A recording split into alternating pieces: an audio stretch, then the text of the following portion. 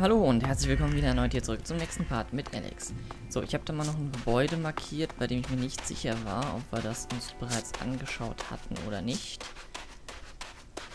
Etwas im Süden, wobei, wenn wir an dem Turm, da sind wir runtergekommen, wenn mich nicht alles täuscht.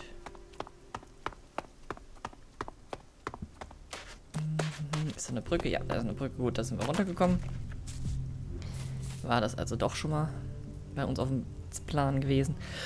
Dann würde ich sagen, schauen wir uns den Bereich an, gehen hier mal das noch ab. Ich bin ja einmal komplett hier rüber gelaufen zum Firmengelände, dann glaube ich, haben wir den Teil nicht gehabt. Den müssen wir sich noch anschauen. Und dann laufen wir später einmal von hier oben runter. Schauen uns hier oben an der Klippenspitze das Ganze mal an. Und dann hier unten das. Und dann fehlt nur noch der Part hier. Sowie Stücke des Weges hier oben hoch zum Konverter von Ignadon. Den werden wir dann auch mal ausschalten. Und dann habe ich vor, noch die letzte Quest hier mit äh, den Raketenbohnen zu absolvieren. Äh, die einzige, die wir sonst noch hätten, wäre das Töten von Konrad. Wobei ich da mir immer noch unsicher bin, ob ich das machen möchte oder nicht. Und das nächste wäre dann von den Hauptmissionen her, äh, mich mal endlich einer Fraktion anzuschließen. Aber ich glaube, ich werde dann trotz alledem einfach mal gucken, wie weit ich hier in den eisigen Norden reinmarschieren kann. Wenn ich hier ja, auch noch die beiden Konverter platt machen kann. Warum nicht? Mal gucken. So, lange Rede, kurzer Sinn, wir laufen mal.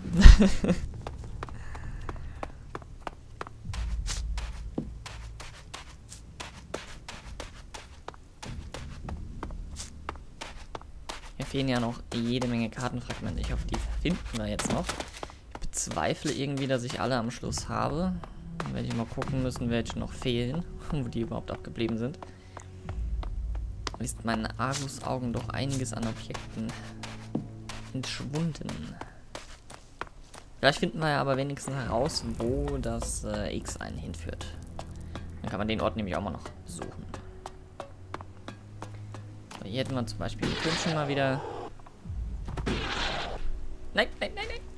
Ach, Mist. Ach ja, dieses Jetpack.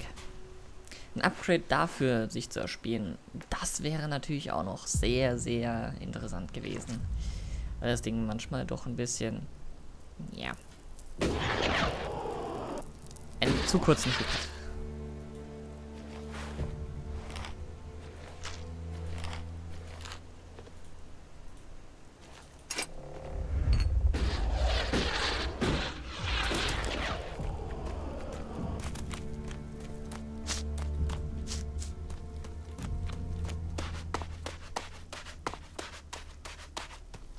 So, in Richtung des Berges unten drunter irgendwie zur Festung scheint es auch nichts Tolles zu geben.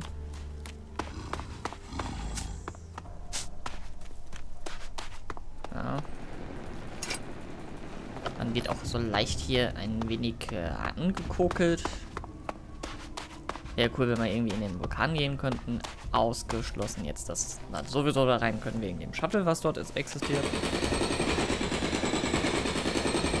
Was vermutlich auch noch eine tragende Rolle spielen wird. Vielleicht kann man mit dem Shuttle nämlich noch den Planeten verlassen oder einer Gruppierung helfen, den Planeten zu verlassen. Das war eine schöne Quest damals mit Fallout. Ah, Neo Vegas mit der äh, Orbitalstation? Nein, keine Ahnung, wo das nochmal genau war. Aber den Gulden dazu helfen, Richtung Sonne zu düsen. Und wieder das Aufgegriffene mit den UFOs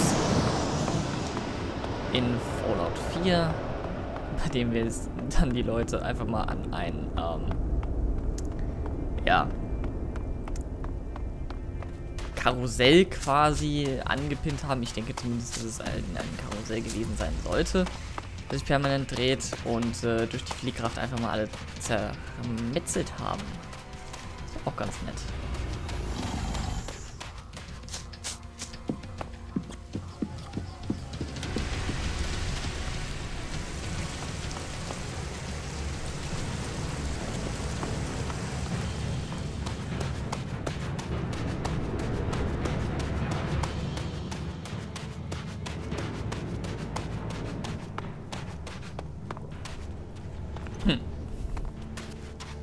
Also ich, pff, mir tut es im Herz nicht mal wirklich weh, dass ich Ignadon nicht besonders äh, in Anführungszeichen gründlich absuche. Äh, Hier gibt es ja einfach wirklich fast gar nichts. Dort, wo Monster sind, kann man immer noch ein bisschen vermuten, dass zumindest irgendein Gegenstand verborgen liegt. Aber, naja. Ich werde hier eben immer ein aufs andere Mal enttäuscht dabei.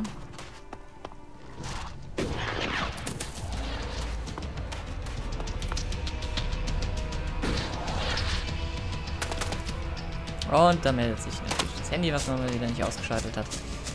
Ritzfix.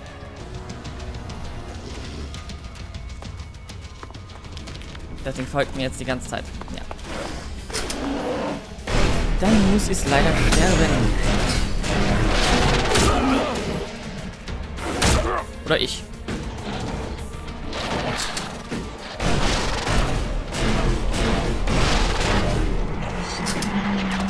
Sind die Chimären stark? Wird auch langsam Zeit, dass ich endlich eine, eine Rüstung kriege. Es ist ja nimmer feierlich. Äh, so. Schauen wir mal gerade eben. Okay, ich bin jetzt weiter gerannt, als ich ursprünglich vorhatte. Dann rennen wir gerade einmal hier hoch.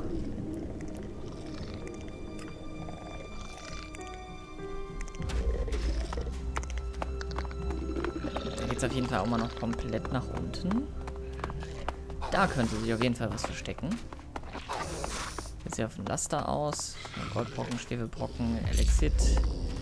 Den ganzen Kram brauchen wir gar nicht mehr. Bin überfüllt damit. 442 äh, vollständig Heilungstränke. Ich weiß gar nicht, wo ich die andere verwenden soll. Aber der oben gibt mir jetzt auch nichts.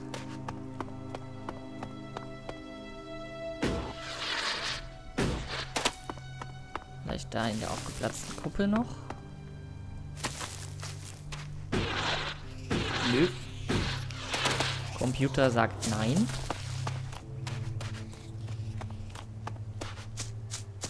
In Richtung des Rohres, da kann man ja nicht komplett rein. Könnte aber wieder was liegen. Ah, wahrscheinlich nur Altmetall. Und, und, und, und, und.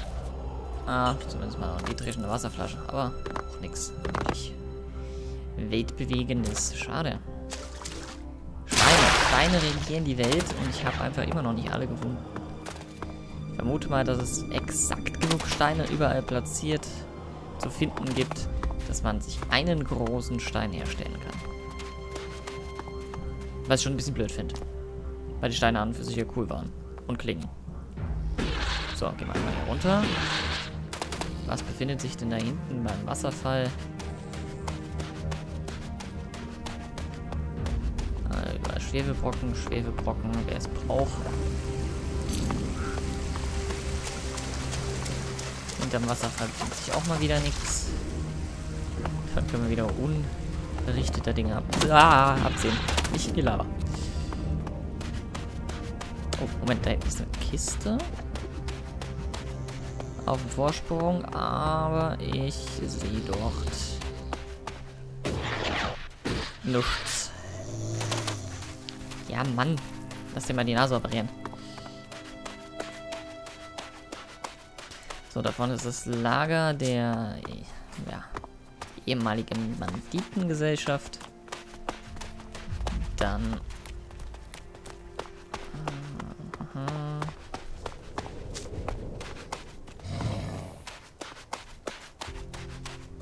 gehen wir zur großen Anlage. Was hier produziert wurde, wüsste ich allerdings echt mal gerne.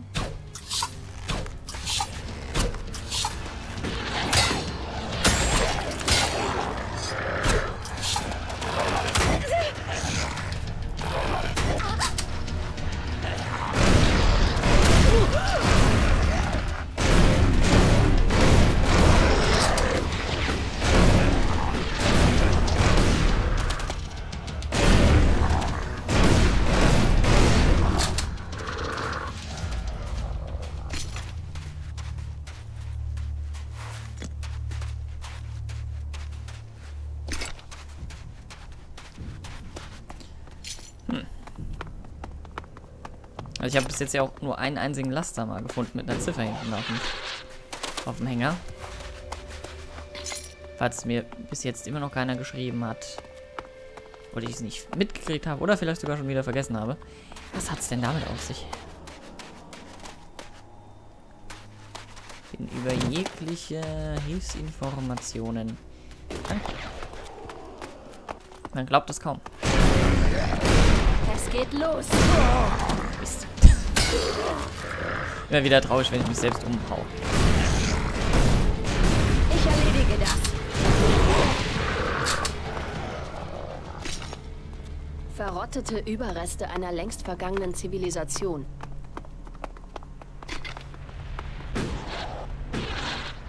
Äh, hier, warum ist auf der Seite denn so verdeckt?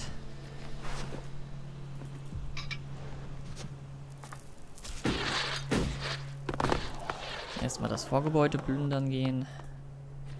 Memo an die Wachsoldaten. Apropos, wir haben noch einiges zu lesen. Können wir auch mal durchgehen. Ein Foto. Beim Kaffee trinken. Anleitung für den Tierfreund. Und hier müssen wir einen Biest töten. Oder sowas. Bleib hinter mir. Ich habe keine Mühle.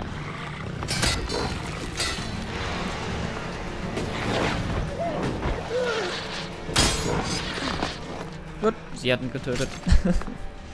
Dann schauen wir doch mal. Was haben wir denn da eigentlich noch alles? Ähm, ein Arbeitsbericht. Die Mission 15.05.016 Suche nach Basis erfolgreich. Vor kurzem hat hier noch jemand gelebt. Kein Lebenszeichen, zwei waren für die erste Schicht eingeteilt. Angriff einiger Berserker in der Nacht. Verfolgung der Angreifer. Rückzug ihre Kampfkraft unterschätzt. Verluste von zwei Soldaten. Zu hohes Risiko. Ah, die haben wir getroffen gehabt. Neuer Plan gegen Angriff in der Nacht. Leise Eliminierung der Wachen. Keine Überlebenden. Mission wieder aufgenommen. Wäre da nicht noch ein... Nee. Wir hätten noch eigentlich einen Altbericht gehabt, einen anderen. Tagebuch eines Einsiedlers. Mein Leben. Dieser Augenblick ist wirklich spektakulär. Ganz Abessa breitet sich vor meinen Augen aus. Hier oben könnte man meinen, dass diese Welt so friedlich ist, wie man es von der Alten behauptet. Was gehen mich die Fraktionen an? Sie haben noch nie etwas für mich getan. Jetzt heißt es, nur ich und meine Bücher. Alps, kein Zweifel. Waschechte Alps. Zum Glück habe ich sie zufällig in der Ferne entdeckt. Jetzt sitze ich hier in den alten Rohren fest. Bei Nacht haue ich ab. Schade um mein ganzes Zeug. Wurde von den Berserkern hier in einer kleinen Hütte aufgenommen. Habe nichts dagegen, werde aber bald weiterziehen. Sie sind völlig verrückt geworden. Wollen die Alps angreifen. Niemand greift einfach die Alps an. Ich habe noch nie so viel Angst gehabt. Gleichzeitig habe ich noch nie so erstaunliche Krieger gesehen. Die Berserker haben die Alp, äh, den Alps doch glatt die Stirn gebogen. Zwei von ihnen haben sie erledigt und dann haben sich die Alps zurückgezogen. Sie haben die weißen Magier in die Flucht geschlagen. Ja, und demzufolge, das andere Buch hat dann die Alpseite gezeigt von diesem Kampf. Mhm.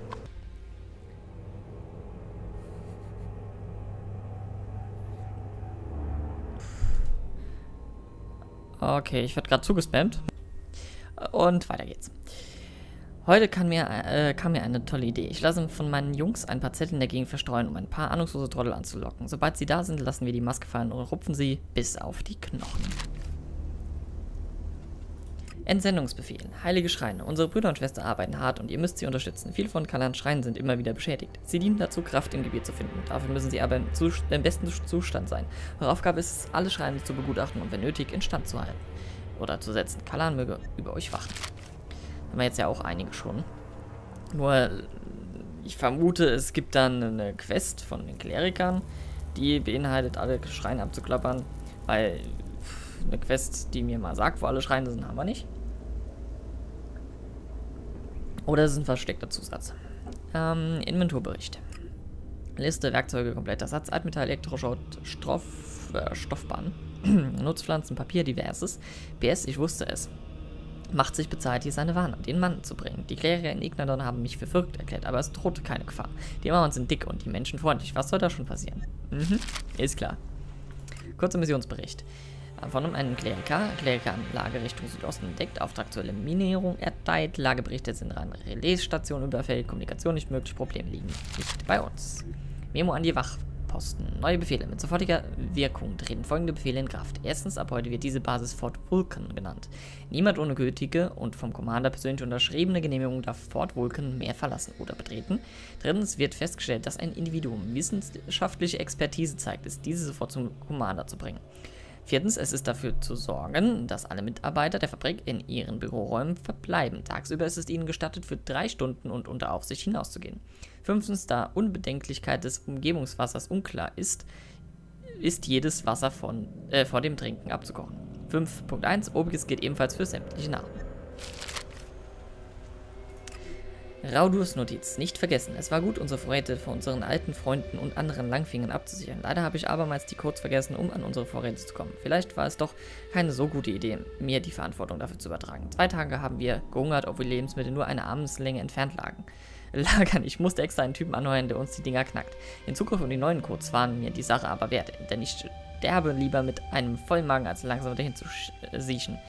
Zur Erinnerung, da, da, da, welcher Code zu welcher Einheit gehört, habe ich zwar wieder vergessen, aber so viel Auswahl gibt es ja nicht. PS, diese Notiz ist nur für mich bestimmt. Wenn du also nicht meinen Namen trägst und für ihn bezahlt hast, bist du entweder ein dreister Dieb und hast mich auf dem Gewissen. In jedem Fall möge dir der Arsch auf Grundeis gehen. Das ist, glaube ich, der nette Kerl, also der nun nette Kerl, wenn mir deine Visage noch mal unterkommt, hier hast du den Scheiß zurück, den ich dir abgekauft habe. Du stehst jetzt bei mir für meine Großzügigkeit in der Kreide. Wage es ja nicht noch einmal mit wertlosem Mist anzukommen.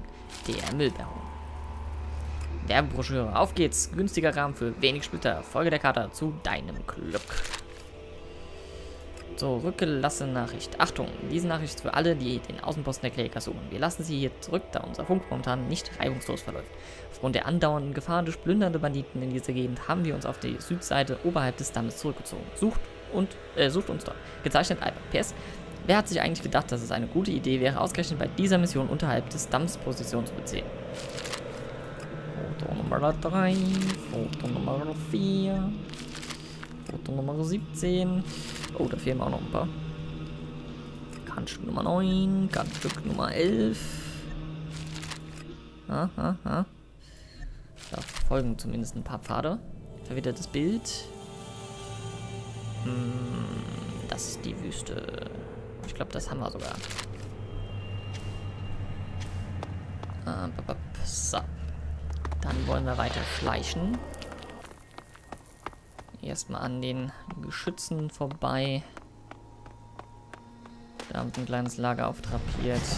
Wenig Elixit. Los. Monstermutanten.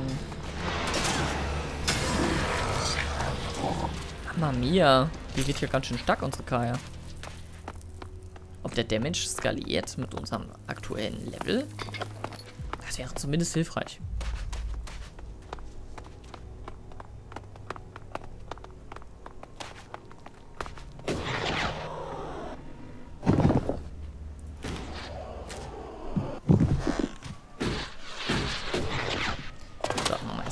Biester da vorne weg, bevor sie uns irgendwann ins Kreuz hineinrennen.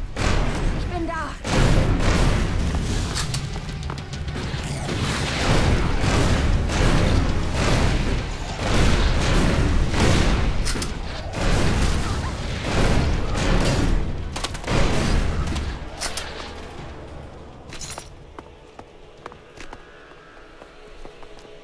So, Weg nach unten ist gesichert.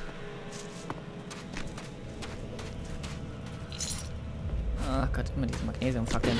Den haben wir so unglaublich viele. Ich glaube, ich habe auch mindestens schon über 300 verkauft. Werden einem dem Spiel echt nachgeschmissen. Wenn ich mir überlege, dass alles hier per Hand platziert wurde, das ist ja kein Random Generation. Okay. das nenne ich ein bisschen Arbeit.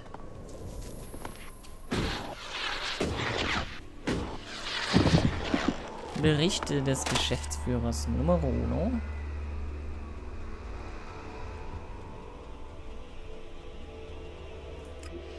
Experimentelle geothermische Energiegewinnung. Wir haben heute um 0800 mit den ersten Bohrungen begonnen. Ich schreibe diesen Bericht um 1800. Einige der Bohrköpfe sind geschmolzen. Die Ingenieure haben gesagt, dass es an der Mischung aus Friktionswärme und natürlicher Wärme des Vulkans gelegen haben muss. So gegen 14 Uhr waren wir tief genug, um ausreichend Wärme nach oben befördern zu können, um zu sehen, ob alles funktioniert. Die Tests waren erfolgreich. Wir beginnen nächsten Monat mit den großen Bohrungen. Die hitzebeständige Sicherheitsschleuse ist bereits eingebaut worden, nur für den Fall, dass etwas schief geht.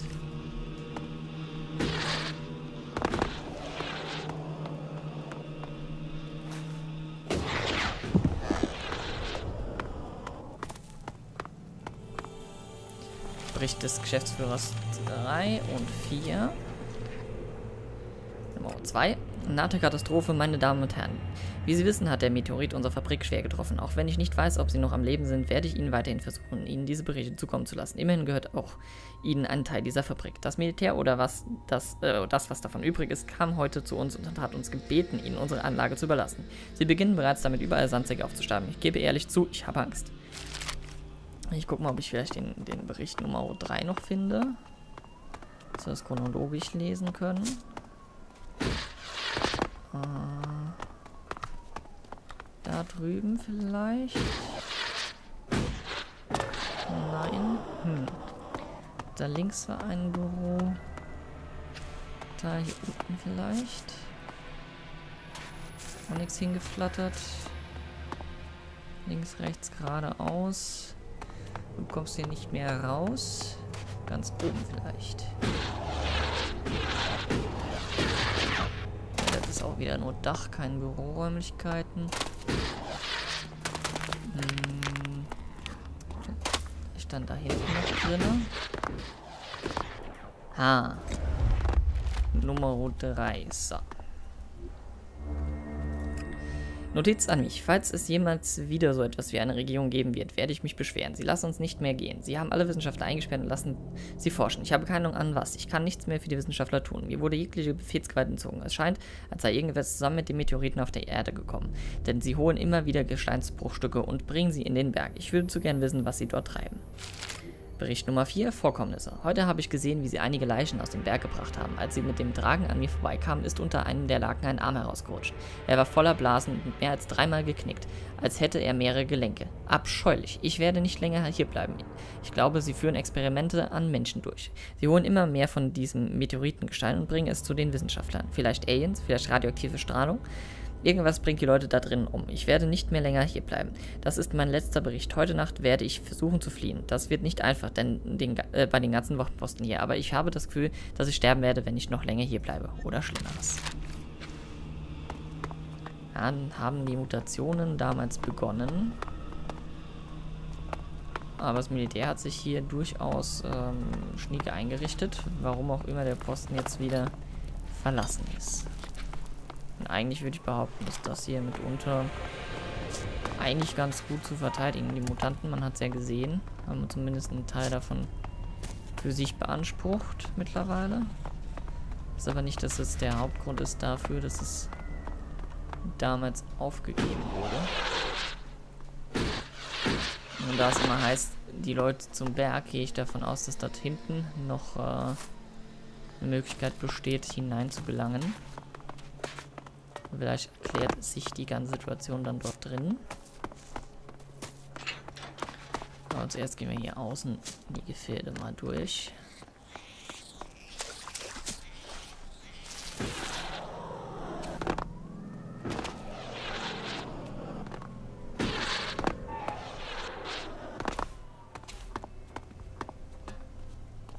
Hm. Jetzt einfach nur weiter nach unten.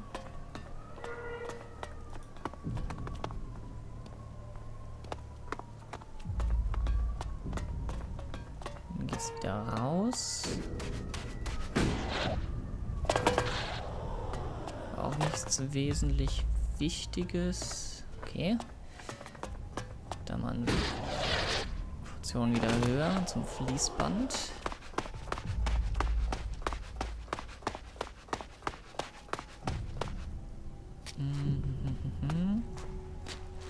Ich frage mich, was die hier befördert haben. In den ganzen Blendern. Sieht es hier unten aus, da kann man rein. Nein, kann man nicht. Mist.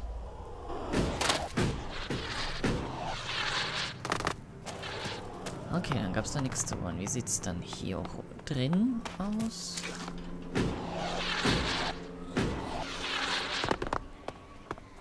Hier oben drauf, besser gesagt, erstmal noch.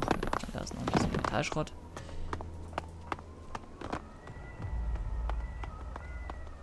Und Magnesiumfackeln. En masse.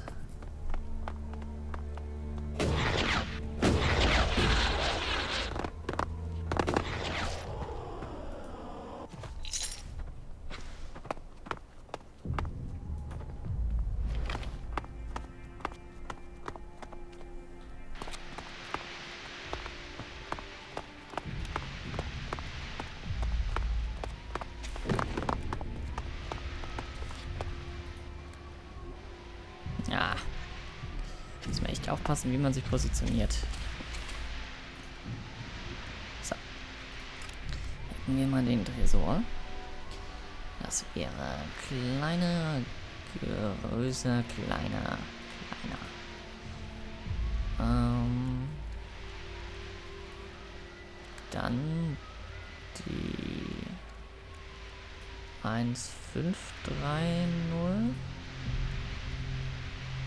Richtig, die 1 am falschen Platz und die 3 auch. Dann ist es 371. Geht doch. Jawohl, einen kleinen gelben mal wieder.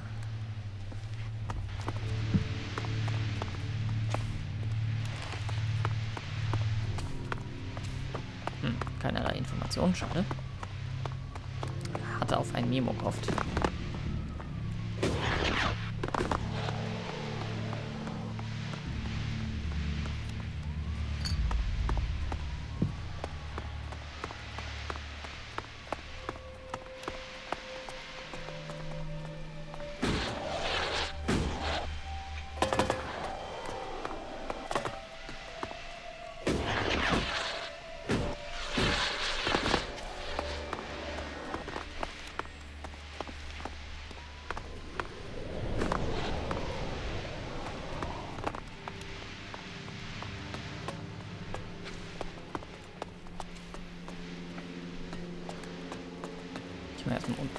Zelt rein. Ein Lagerzelt. Anscheinend waren Alps hier. Neue Befehle für die Förderung.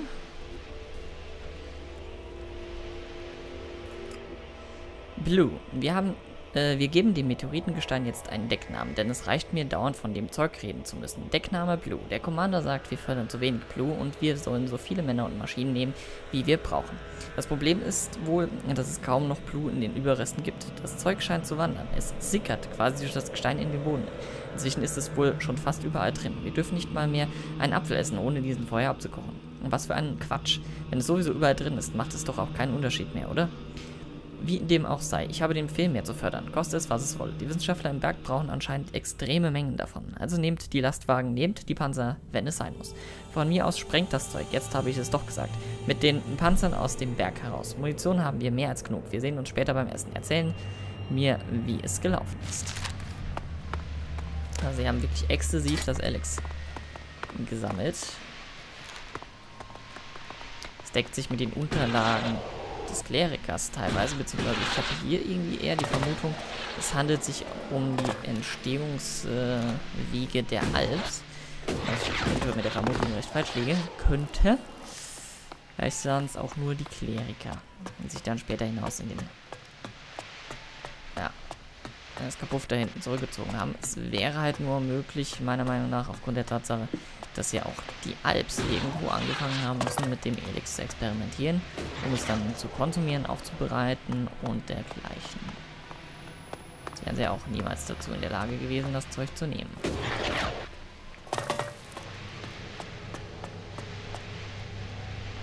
Mhm, sieht schlecht aus, dass da hinten noch was liegt.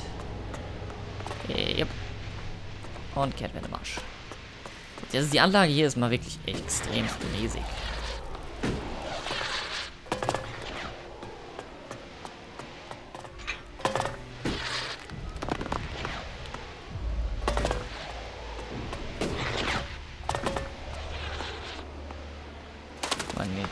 Reinkommen.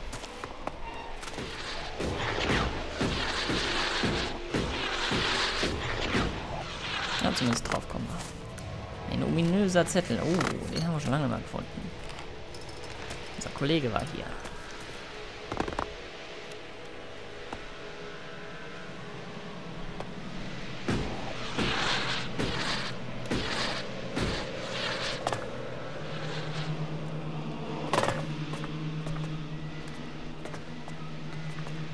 Die Frage, gibt es da hinten noch was? Hm.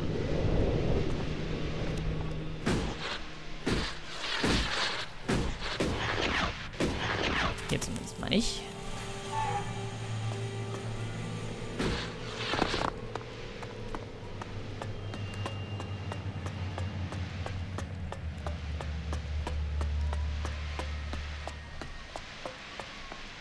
Oh, Tresor.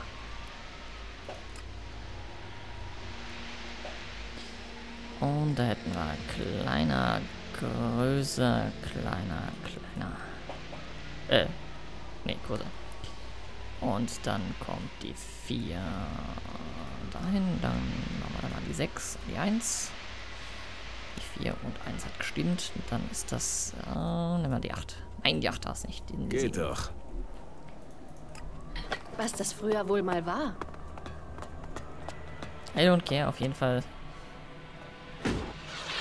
hinten der Zugang stark verschlossen. Legen wir uns erstmal den Mops.